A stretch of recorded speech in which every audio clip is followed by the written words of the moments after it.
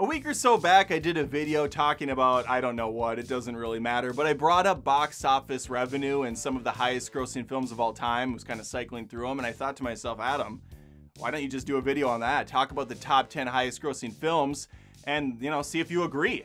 See if the audience agrees. So I did. It's right here. You're watching it in real time. Let's begin. Keep in mind, this is not my top 10 it would be wildly different. I'm not sure I would agree with any of them, but we'll find out together as I haven't cheated and looked ahead on the list, although I know some of them that are on there already because of that aforementioned video. Anyway, at the number 10 spot, we have Frozen 2. This truly took me by surprise. I had no idea Frozen 2 was as popular as the first one. I assumed it did really well, but not near as well as Frozen, which I was wrong about. Frozen, I believe, is on like number 12 or 14 on the list. Well, let me check. I have my I have my I have my computer just out of frame here.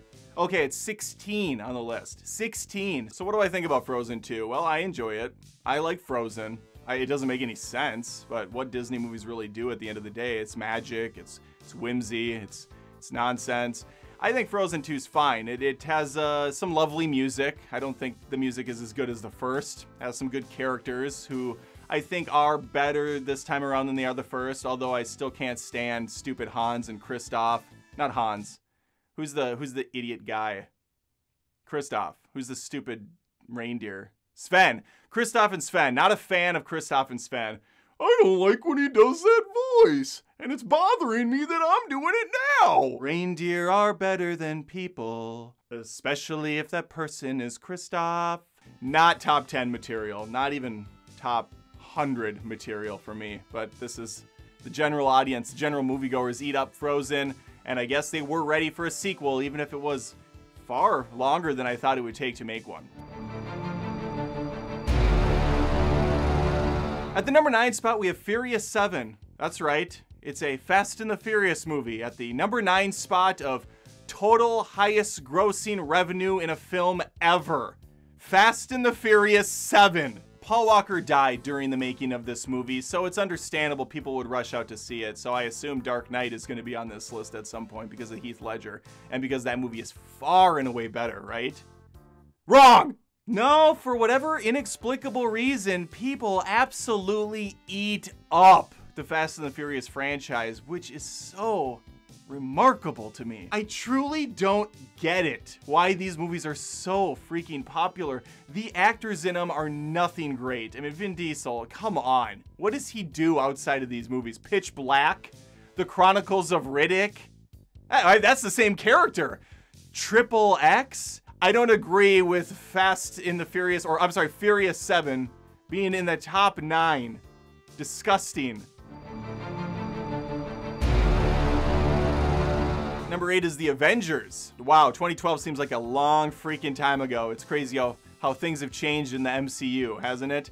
But we will always look back on that time capsule of a film and see this is when Iron Man, Hulk, Black Widow, Captain America, Thor, they all got together with Nick Fury's help and Agent Coulson pour one out. And they, they, they assembled for the first time on the big screen, and that truly is something, that's something special for a lot of people for a lot of different reasons. And yeah, I think, you know what, fair, fair play. This belongs on the list. It is a, a, a movie event. When I think of highest grossing movies of all time, that's what I think of. I think of events things that get people driven out to the theaters. The death of an actor is certainly one of those reasons, but again, there, has been deaths of other prominent actors that didn't drive out the numbers. Anyway, Avengers, I agree with. It belongs here. There, there's few franchises that are more. I don't. I don't know. Is MCU the most successful franchise of all time now, or is it still Star Wars? I don't know. It's, it's, it's anybody's guess, but not really. I could look it up and tell you, but I won't. Let's move on. Lion King. So this is what it feels like to be in hell. The live action Lion King is the number seven highest grossing film of all time. Unfreaking real. Not only is it a disgusting, commercially viable, shot for shot at times hack job of a remake, but it is a soulless, bland, emotionless film featuring terrible voice acting, miserable music, and just a awful treatment of what came before it. A disrespect, a disservice of the animated classic. Why does this exist? To make money. Why did people go out and see it in droves? Nostalgia, timing, marketing. This is a very ugly practice by Disney, in my opinion. I do not like these live action remakes. I can't stand them for the most part. And if there's nothing to them, then why are we doing it outside of money? There was nothing unique about this film. Jungle Book, I thought was great because it didn't do the same goddamn movie with real people and CG animals instead of animated ones. It told a different version of the story. But no, sir, no, ma'am. I do not accept this premise that that shitty Lion King movie is sitting at number seven of all time. It's awful. Let's move on.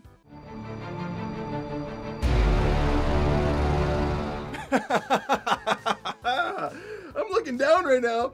I'm seeing Jurassic World at number six. Not Jurassic Park, Jurassic World. Holy shit. We are in some sort of an upside down, aren't we, friends? When Jurassic World makes more money than the original timeless classic Jurassic Park. Oh my god. Jurassic Park is legit one of my favorite movies of all time. It's easily in my top 10. It is why I go to the movies. The cinematic magic that's on display. The great characters, the vibrant setting, the, the unique chemistry between the characters, the wonderful visuals, and Jurassic World is a soft reboot carbon copy of what worked before. It's just rehashing the same story elements, repackaged for a new generation. And don't get me wrong, I'm a big fan of dinosaurs. I like dino destruction. I like people running and getting eaten by them. So I like Jurassic World.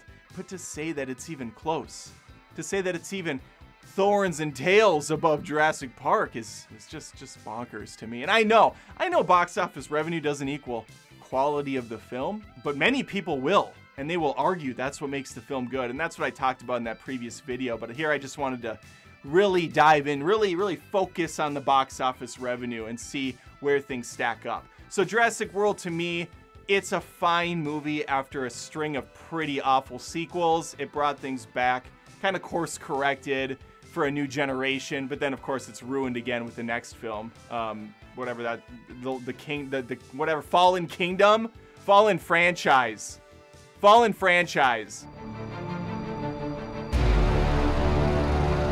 At number five, we're at Avengers Infinity War. I will always and forever have a chip on my shoulder that they took out that awesome line by Thanos in that film, where, where he says something like, One does not consider fun when balancing the universe. Or something like that. I don't know. He says it awesome. I'm, I'm paraphrasing. But I love that line so much. So much that I can't even truly remember it. Avengers Infinity War is my favorite MCU film to date. It's going to be hard to ever pass it. I don't know if they ever will in my eyes.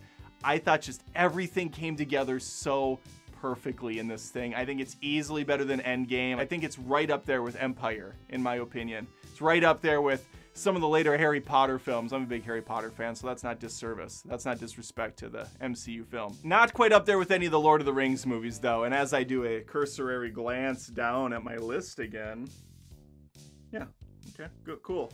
Zero Lord of the Rings movies in the top 10. Zero! oh, fuck. Again, this was an event film. It was a big moment in cinema. I can see why it's this high up on the list. I agree. Let's move on. At number four on the list, we have Star Wars Episode 7 The Force Awakens, or as I like to call it now, The Force Fails. I was very high on this movie after seeing it, as I think a lot of general audience was, and even fans of Star Wars. Today, looking back at it, I still think the movie's good, but man, everything that follows isn't. So thereby, it does a disservice to episode 7. It really hurts any momentum episode 7 had. And much like Jurassic World, this is very much a New Hope 2.0. It's a soft reboot. fans were very split on this idea. A lot of people wanted them to go an entirely different route, a new direction, tell a new story. And then others were, were thinking, you know what? I don't like the prequels. In fact, I fucking hate the prequels. I need to get some sort of a semblance of Star Wars back. The way it looked, the way it felt, the characters, the settings, and that's what episode 7 did for me. It brought it back. And then we had, of course, all the controversy, the different wings of people getting upset because Rey was a fun word, Mary Sue, or everything's just conveniently happening and nothing's new or fresh. And these are all fair criticisms to a degree. I was willing to give the story the benefit of the doubt. I would have imagined there was some sort of a plan in place for this trilogy. You know, the, one of the biggest franchises of all time. You would assume they had a beginning, middle, and end, you know, picked out. I understand the original didn't. I understand that episode uh, four, or you know, one back in the day was uh, A New Hope. Um, they didn't really have anything planned out past the first, at least not nothing too concrete, uh, because they didn't have the budget and they didn't know it was going to be successful. Disney bought this goddamn property for a ridiculous amount of money, knowing it was their cash cow. They could have had the next seven movies built out if they would have had a decent playbook in mind. But no, instead, they put different cooks in the kitchen for different episodes, and what you're left with is a huge mess. Where our hero Luke Skywalker dies alone on a goddamn rock, telephoning in the final battle. Just beep, beep, beep, beep hi, I can't be there in person, but uh, I can trick uh, Kylo Ren for a few minutes if you guys want to just get further into the cave. I'm not actually going to do anything of real substance here. Okay, bye. Click. Not getting Luke, Leia, and Han in a scene together is maybe the biggest disservice in all of cinema. How do you fuck this up so badly? Again, Force Awakens set a nice table. We, we knew where people were at. We knew where Han was, Leia, Luke's out on a rock, pissed off, but he's waiting there at the time. We don't know what's gonna happen. Rey's there, she's perfect, she knows how to do everything already, but maybe she's unlocking abilities that were lying dormant because Luke had implanted them there, or she she learned them and then they were Jedi wiped away until the moment she was ready to fully understand, or they were gonna slowly build up to something, but no! It's just hack shit writing. And then you bring in another guy for the sequel that doesn't give a fuck about the series, that wanted to do his own Star Wars trilogy. So instead of taking what the previous dude had set up, he's like, I think I'm gonna start over right now. And he gives us a slow moving space chase. That's all it is. It's a slow moving space chase. Nothing of substance happens in this middle section of the trilogy.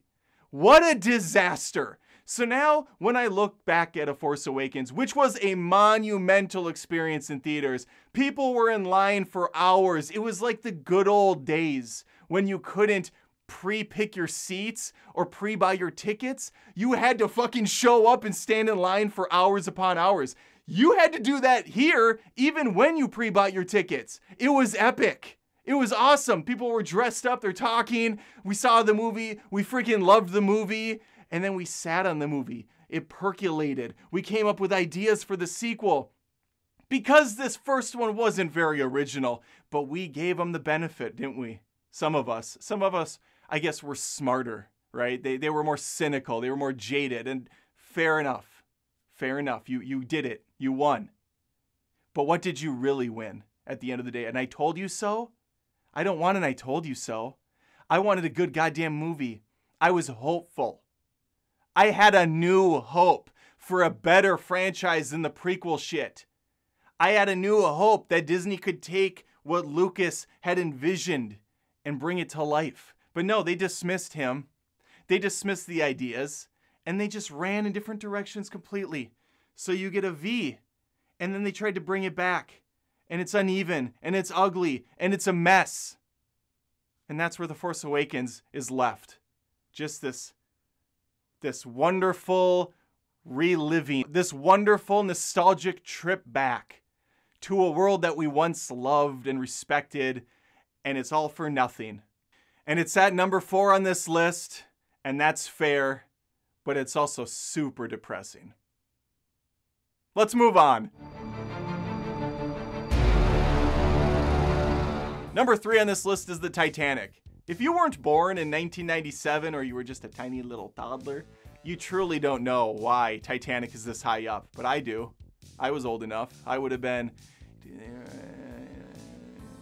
I would have been like 11 or 12.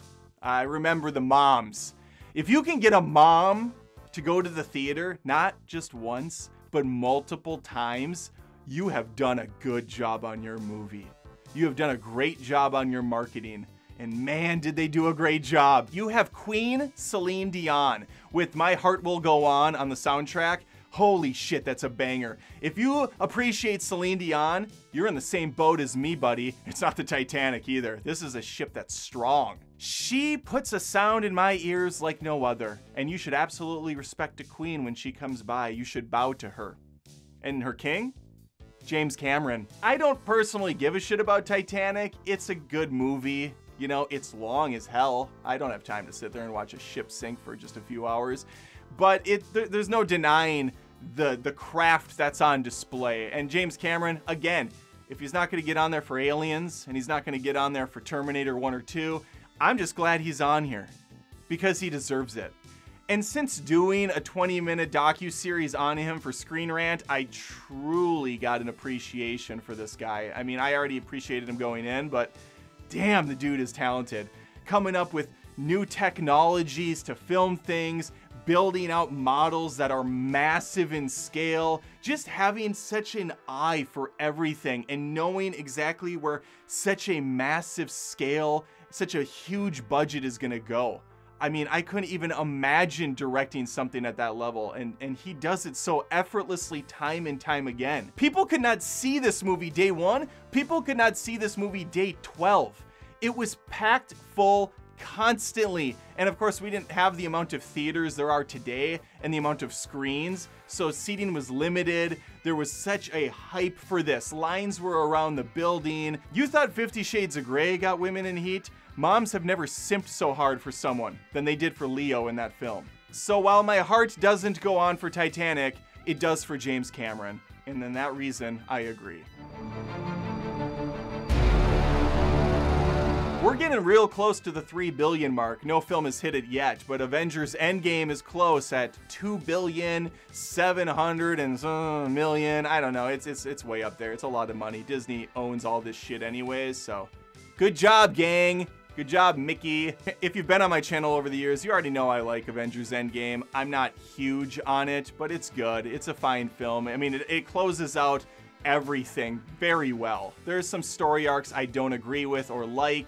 I think it's a bit longer than it needs to be, and there's some stuff I definitely would cut or fix. But at the end of the day, we get an amazing tribute to Iron Man, Robert Downey Jr.'s character. We have one of the most massive scope battles in cinema history with that final battle. Uh, DCEU looks at this shit and they're just crying because they did such a horrible job building their universe. And I'm not knocking DCEU. I, I really don't care if it's MC or DC, whatever. It's at the same, it's just comics. I like all of it. But there is no denying, there's no argument that Marvel just did it so much better. They had it planned out really well. So I don't argue with the number two spot for this thing. It was an event like not many other before. I think it's a little high. Personally, I'd put Infinity War above it. But again, this top 10 list, I don't know if I'd put any of these movies on here for my own personal. And maybe someday I'll do my own top 10 list. It's a very dangerous game though. I know I'd leave something off because I like a ton of films. And as I get older and change and you know whatever, over time, some of my opinions on movies change, or I watch them again and dislike them more, or love something more. So it uh, ranking things, not really my favorite to do. People love them though, so I try to do them. I already looked back on my MCU list recently, and I think, yeah, okay, I did put Bla- I did put Black Widow too high.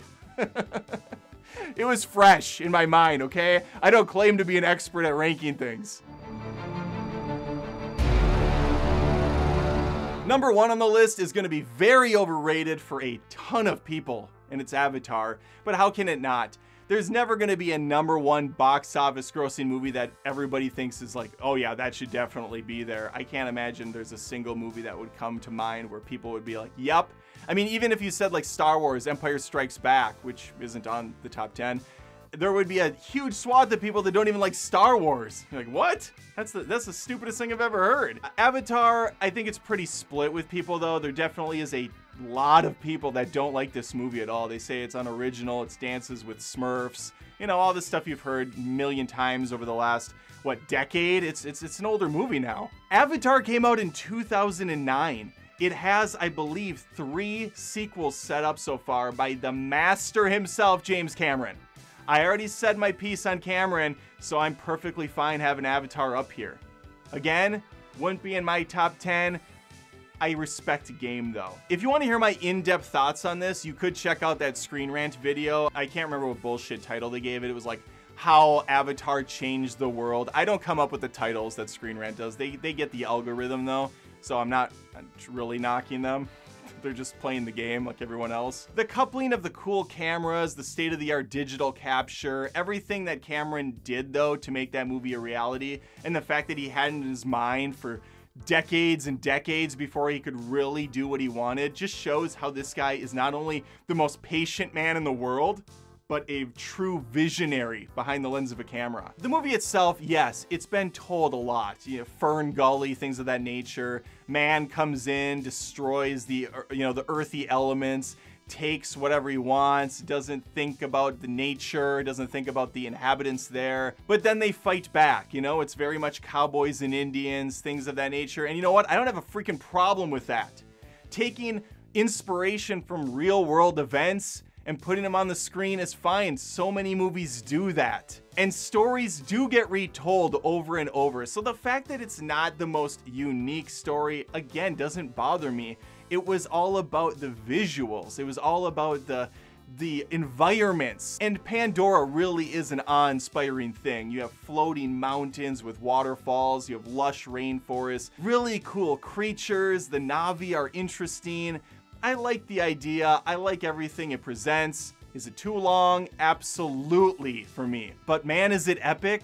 And it's led to other films and other properties using that technology that he honed and crafted, and we've had some great things because of it.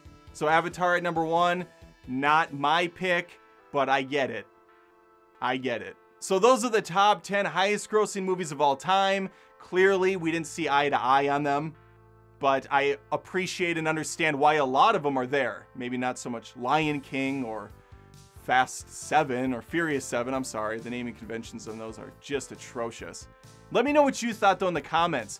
Where are you at with things? Maybe even throw out your top 10. Although down the road, I promise I will try to get one put together myself. I might even break it into top 10 action movies, top 10 comedies, top 10 horror movies or whatever. If you if you want to see that, let me know in the comments as well. Please like the video if you had a good time, subscribe if you haven't, and there's also a notification bell I'm told that people should absolutely turn on. So do that if you haven't already. Wow, truly an amazing video, wasn't it? If you're a subscriber here and you think I'm doing a great job, which I mean, I let's not uh, let's not beat around the bush. I am at this point. Please think about maybe supporting me here with the join button, where you can become a member of Adam Does Movies, get access to a show I do called The Cringe, which is only available to join members, and also for Patreons at patreon.com/slash Adam Does Movies. Both places give you the opportunity to see further videos and to feel like you're, you're part of something special because you are. You're helping one guy entertain you. And for that, I thank you.